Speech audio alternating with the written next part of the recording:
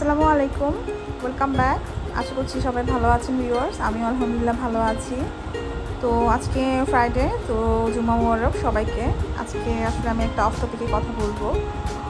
আমাদের লাইফে আসলে যখন আমাদের বিয়ে হয়ে যায় মেয়েদের সাধারণত অনেকে জব করে, অনেকে জব করে না। যারা বাসায় থাকি, তাদেরকে তো আসলে হাউস ওয়াইফ সবাই বলে।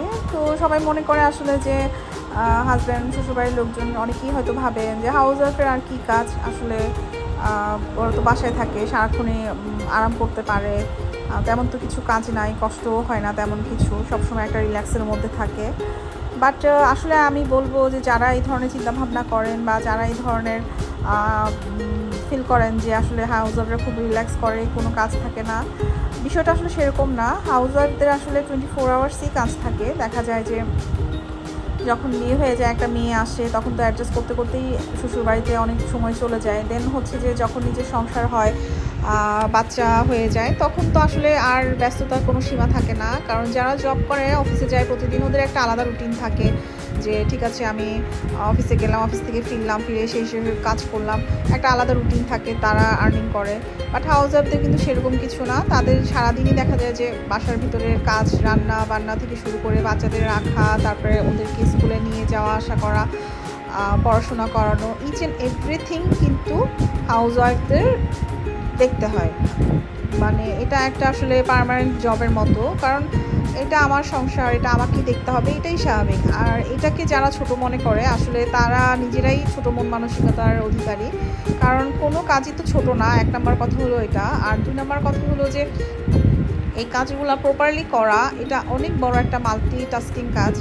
কারণ একসাথে অনেকগুলো কাজ করতে হয়। আপনি যখন অফিসে কাজ করেন, তখন আপনার একটা নির্দিষ্ট সীমা থাকে, একটা নির্দিষ্ট গণ্ডির ভিতরে আপনাকে এসব এসব কাজ শেষ করতে হয়। বাট ওয়াইফ যারা থাকে, তাদেরকে সব কিছু মাথায় রাখতে হয়। সব কিছু মাথায় রেখে সেভাবে সিস্টেমেটিক্যালি চলতে হয় যে, আমি বাচ্চাকে কখন আনব, বাচ্চার সাথে কী কী কাজ আছে, বাচ্চার পড়াশোনা, তার হেলথ তার অসুখ বিসুখ খাওয়া দাওয়া ইচ অ্যান্ড এভরিথিং আর যারা আমরা আছি, যেমন আমি হাউস, প্রথম থেকে আমি স্টাডি করছিলাম আমার বিয়ের পরে। তারপরে স্টাডি শেষ করলাম এম করলাম অনার্স করলাম, তারপরে বাচ্চা হলো বেবিদের টেক কেয়ার করলাম। তো এর ফাঁকে ফাঁকে আমি টুকটাক বিজনেস করতাম। তো আলহামদুলিল্লাহ আমার বিজনেস খুব ভালো রান করেছে সবসময়। আমি যেভাবে চেয়েছি সেভাবেই। বাট আমি বাইরে গিয়ে জব করব, এটা আমার কখনো ইচ্ছা হয় নাই যে আমি বাইরে গিয়ে জব করি। কারণ আমার কাছে মনে হয়েছে যে না, আমি বাসায় আমি হ্যাপি আছি, আলহামদুলিল্লাহ। আমার সংসার সামনে সব কিছু সামনে আমি যেভাবে আছি, আমি সেভাবেই হ্যাপি তো আমি, এর ভিতরে আমরা সব কিছু আমি আমি খুব সুন্দরভাবে করছি। মাশাল্লাহ সবাই প্রশংসা করছে, সবাই অ্যাপ্রিসিয়েট করছে। আমি নিজেও বুঝতে পারছি যে আমি খুব ভালো মতো সব কিছু মেনটেন করতে পারতেছি। তো এটা কিন্তু অনেক বড় চ্যালেঞ্জ যারা করেন, তারা বুঝছেন যারা করে না, তারা আসলে বুঝবেও না। আর যারা এই হাউস ওয়াইফদেরকে ছোটো করার চেষ্টা করে বা ছোটো মন মানসিকতা নিয়ে চিন্তাভাবনা করে যে, না ওয়াইফদের তো আসলে কষ্ট হয় না, সেরকম কিছু না। ওয়াইফদের কাজ যেমন বেশি থাকে, তাদের ফিজিক্যাল মেন্টাল স্ট্রেসও তেমন বেশি থাকে। তো এটার ভিতর দিয়েই আসলে যেতে হয়। আর এটাকে ইগনোর করারও কোনো উপায় নেই। যেমন আমি সকাল থেকে উঠে আমাকে অনেক ধরনের কাজে থাকতে হয়। আমার বাসায় হেল্পিং হ্যান্ড আসে, তাকে চালানো প্লাস বাচ্চাদের আনা নেওয়া করা, ওদের খাবার দাবার টেক কেয়ার করা, রান্না করা, অনেক কিছুই আমি করি, নিজ হাতেই করি। তো এগুলা কিন্তু আমাকে একটু অ্যালার্টলি করতে হয়। আমি চাইলে এগুলো কারও হাতে ছেড়ে দিতে পারব না। সো এটা একটা আসলে টোয়েন্টি ফোর আওয়ার্সের জবই বলা যেতে পারে। তো আসলে যাদের এই ধরনের মন মানসিকতা, তারা আশা করি এগুলো থেকে বের হয়ে আসবেন। আর অনেক হাজব্যান্ডরাও আছেন ওয়াইফদেরকে কোনোভাবেই তারা অ্যাপ্রিসিয়েট করতে চান না, তারা কোনোভাবেই মূল্যায়ন করতে চান না। এগুলোও খুব বাজে বিষয়, কারণ আমাদের নবী রাসুলরাও খুব সুন্দরভাবে ওনাদের ওয়াইফদের সাথে সময় কাটাতেন। আমাদের নবী রাসুলরা সবসময় ওনাদের ওয়াইফদের সম্মান দিতে নেবেন। আমাদের রাসুল্লাহ সাল্লাহ আলিয়াল্লাম ওনার প্রত্যেকটা ওয়াইফকে সমানভাবে উনি সমান দৃষ্টিতে দেখেছেন, সমানভাবে মূল্যায়ন করেছেন। তো আসলে কোরআন হাদিসের কথা তো আমরা শুনি, বলি, কিন্তু ওটা অনেকেই আছে যারা মানে না, যারা বুঝতে চায় না। আর যেসব হাজব্যান্ডরা হচ্ছে যে মাকে দেখে আসছে বিশেষ করে নিজের মাকে যখন তারা মূল্যায়ন করতে শিখে, মাকে যখন তারা বুঝতে পারে যে মার কষ্ট হচ্ছে, মা অনেক এফোর্ট দিচ্ছে আমাদের ফ্যামিলিটার জন্য সেই সব ছেলেরাই পরবর্তীকালে হয়তো ওয়াইফদের সাপোর্ট দেয় ওয়াইফদেরকে বোঝার চেষ্টা করে। আর যেসব ফ্যামিলিতে ছেলেরা এগুলো দেখে আসে না ফাদারকে দেখে না বা ফ্যামিলিতে দেখে যে মেয়েদের কোনো ভ্যালু নাই, মাদের কোনো ভ্যালু নাই, বোনদেরও কথার কোনো ভ্যালু নাই। তো ওরা স্বাভাবিকভাবেই পরবর্তী নিজেদের লাইফে গিয়ে ওয়াইফদেরকেও তারা ভ্যালু দেওয়ার চেষ্টা করে না। তো এটার কারণে তো আসলে শুরু হয়েছে পারিবারিক অশান্তি। তো যাই হোক, আমি আর সেদিকে যাচ্ছি না। মেনলি আমার কথা হলো যে হাউস ওয়াইফ হওয়াটা এটা আসলে কোনো একটা নর্মাল ইস্যু না মানে নর্মাল বিষয় না, কারণ হাউস ওয়াইফের অনেক ডিউটি থাকে, অনেকগুলো ডিউটি তাকে একসাথে পালন করতে হয়। আর এটার তো অনেক হাজব্যান্ড আছেন যারা হচ্ছে যে ওয়াইফদের হাত খরচ দিতে চান না, যে মনে করেন এরা তো বাসায় আসলে কি কাজ করছে বা এরা, এদের কাজের আবার কি ভ্যালু থাকতে পারে বা বাসায় আছে তার আবার কি দরকার, আমি তো সব এনে দিচ্ছি। এটা হচ্ছে সবচেয়ে বড় ভুল একটা হাজব্যান্ডের এবং আমি বলব যে প্রত্যেকটা ওয়াইফের উচিত বিয়ের প্রথম থেকে এই জিনিসটা রেগুলার মেনটেন করা যে হাত খরচের বিষয়টা যে, ঠিক আছে, আমি আমার আলাদা হাত খরচ থাকবে বা আমি যেহেতু আমি জব করছি না, আমি বাইরে যাচ্ছি না, কারণ বাইরে গেলে কিন্তু আমি আর্ন করতে পারব। আমি যখনই জবে ঢুকে যাব, তখনই আমি সেটা টেন থেকে টেন থাউজেন্ড থেকে স্টার্ট হোক ফাইভ থাউজেন্ড থেকে স্টার্ট হোক, কিংবা যেটাই হোক, আমি কিন্তু একটা আর্ন করতে পারব। আমি, এবং লং টাইমে গিয়ে আমার সেই আর্নিংটা আরও বেড়ে যাবে।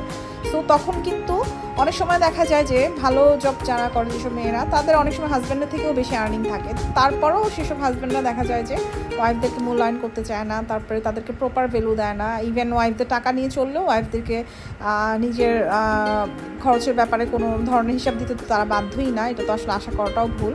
আচ্ছা যাই হোক, তো ওইসব হাজব্যান্ড এবং ওয়াইফদেরকে আমি প্রথমে সবসময় এটাই বলব যে নিজেদের ভ্যালু নিজেদেরকে দিতে হবে। বিশেষ করে ওয়াইফদেরকে নিজেদের ভ্যালু নিজেদের দিতে হবে। আর হাউস অফ মানি হচ্ছে কাজের লোক না, যারা আসলে এই ধরনের চিন্তা ভাবনা করে, তাদের ন্যারো মন মানসিকতা নিয়ে তো বলার কিছু নাই, কারণ তাদের সারাটা জীবনই যাবে ন্যারো মন মানসিকতা নিয়ে থাকতে। আর মেয়েদেরকেও আমি বলব যে নিজের সম্মান অবশ্যই নিজে রাখবেন, নিজের বেসিক যে প্রায়োরিটি সেটাও মেনটেন করবেন। তারপরে হচ্ছে যে হ্যাঁ আমি সংসার করছি, আমি আমার ফ্যামিলির জন্য সময় দিচ্ছি, বাচ্চাদেরকে প্রচুর সময় দিচ্ছি। তার মানে এটা না যে আমি আমার জীবনটা এখানেই শেষ করে ফেলব, আমি সারাদিনই পরিশ্রম করতে থাকব, সারাদিনই আমি হার্ডওয়ার্ক করতে থাকব বা সবার জন্য টেনশন করতে থাকব।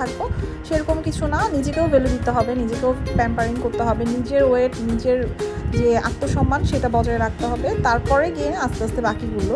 আর হাজব্যান্ডদেরকেও সেটা বুঝাতে হবে যে, না আমি বাসায় আছি বলে যে আমার কাজের কোনো ভ্যালু নাই বা আমার কাজগুলো খুব ইজি সেটাও কিন্তু না। কারণ হচ্ছে যে সবগুলা কাজ একত্রে মেনটেন করা, তারপরে বাচ্চাদের টেক কেয়ার করা, এটা আসলে অনেক বড় একটা দায়িত্ব।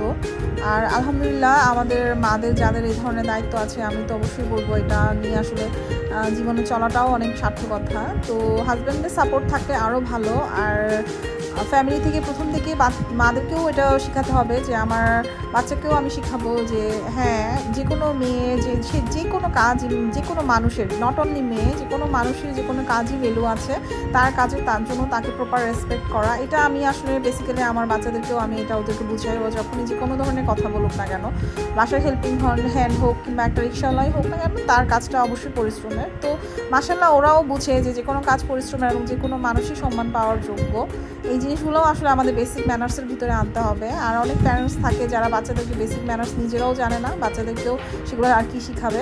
তো তাদেরও আসলে আস্তে আস্তে গ্রো আপ হওয়া উচিত। কারণ এই ফেসবুকের যুগে সারাক্ষণ বসে বসে আমি ফেসবুকে বসে থাকলাম, সারাক্ষণ ড্রেসের শাড়ি জুয়েলারি লাইফ দেখলাম। সেইগুলো করে আসলে খুব একটা বেনিফিট হওয়া যায় না। শুধুমাত্র টাকা খরচ করা ছাড়া।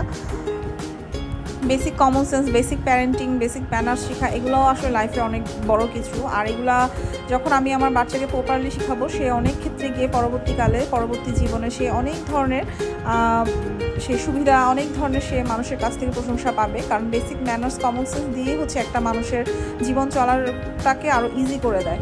যে মানুষের বেসিক কমন সেন্স নাই হ্যাঁ আমি একটা ভুল করে ফেললাম, এখানে সরি বলতে হবে। বাট আমি না, আমি কেন সরি বলব? আমি তো করে থাকব। এই ধরনের মন মানসিকতা নিয়ে চললে তো আসলে কোথাও গিয়ে মানুষ তার প্রপার জায়গাটা সে কখনোই দখল করতে পারবে না, আর তাকে কেউ পছন্দও করবে না।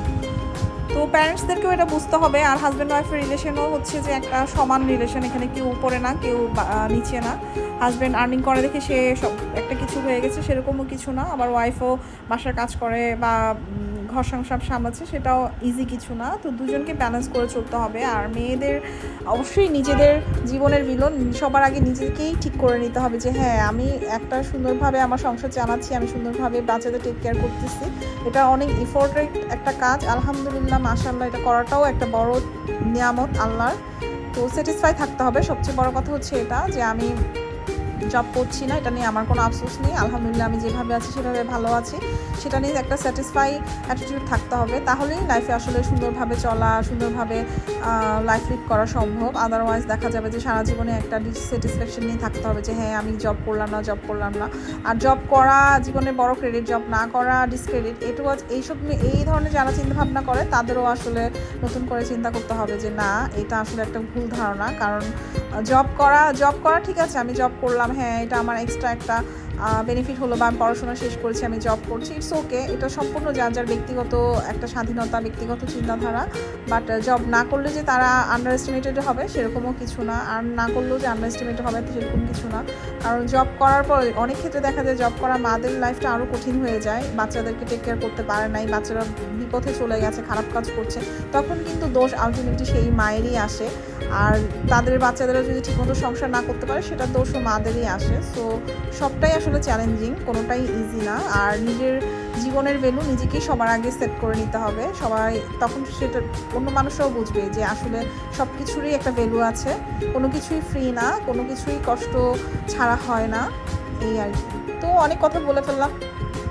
কেমন লাগল আমার কথাগুলো? আপনারাও কমেন্ট করে জানাবেন যে আসলে আরও কী কী করলে ভালোভাবে জীবনে চলা যায়, কী কী করলে বেসিক ভ্যালু ম্যানার্স বা নিজের ভ্যালু নিজের বাড়াতে পারে, সেরকম বিষয়ে আপনাদের আপনারাও কমেন্ট করবেন, মতামত জানাবেন। আর হচ্ছে আমি আজকে খুব সিম্পল দুইটা রেসিপি দেখালাম। এগুলো আসলে তেমন কিছু না। রেগুলার বেসিসে খুব সিম্পল কুকিং লাউ ডাল দিয়ে রান্না করা। আর হচ্ছে যে একটা ডাল, মসুর ডালের একটা পাতলা ঝোল রান্না করলাম। আর কেমন লেগেছে? প্লিজ আপনারা কমেন্ট করে জানাবেন। আর নিজেদের টেক কেয়ার করবেন। সব মেয়েদেরকে আমি বলছি, নিজেদের ভ্যালু দিবেন, নিজেদের টেক কেয়ার করবেন, নিজেদের একটা আমাদের আত্মসম্মান বোধ আছে, সেই জায়গাটা থেকে নড়বেন না। আশা করি সংসারে সবাইকে নিয়ে ভালো থাকবেন। আর যারা নতুন লাইফে ঢুকবেন বা সংসার জীবন শুরু করতে চাচ্ছেন, তারাও বুঝে শুনে পা রাখবেন। নিজের প্রায়োরিটিটা স্ট্রিক্ট রাখার চেষ্টা করবেন যে হ্যাঁ তার মানে এটা না যে নেগেটিভ কিছু। তো এই তো, ভালো থাকবেন সবাই, আল্লাহ হাফিজ। Thank you